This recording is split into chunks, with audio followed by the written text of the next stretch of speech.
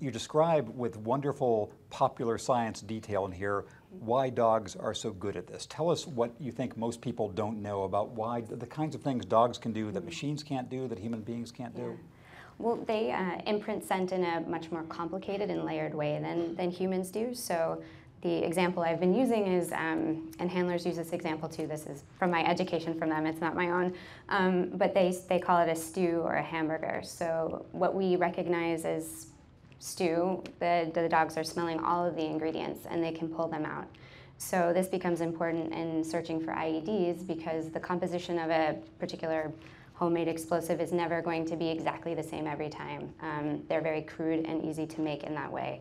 So the good thing about a dog is that when they smell a particular amount of odor, a particular odor, and it can be det cord, it can be duct tape, um, but something they recognize as part of the stew, they'll alert on it. So it doesn't need to be the complete scent of the stew, it just needs to be the individual ingredients, I think is the And what's the, the mixture of nature and nurture in training dogs to do this? Are all of them able to do it? Does the military have to find particularly good scenters? How does that work?